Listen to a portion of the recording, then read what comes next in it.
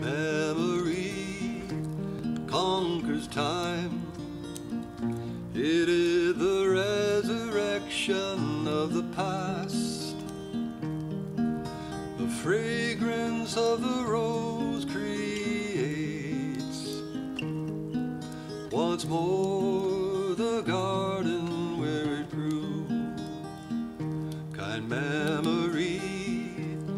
has no power to make pain felt in after years, but tells us only that it was, but tells us only that it was,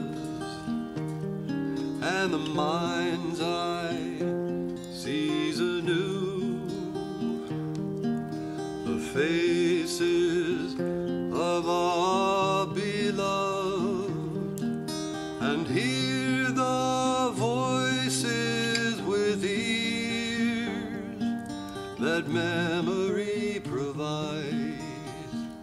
While joy brings us once more a thrill so that it lasts when we are old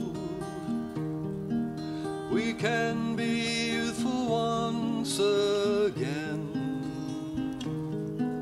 We can be youthful once again. We can be youthful once again.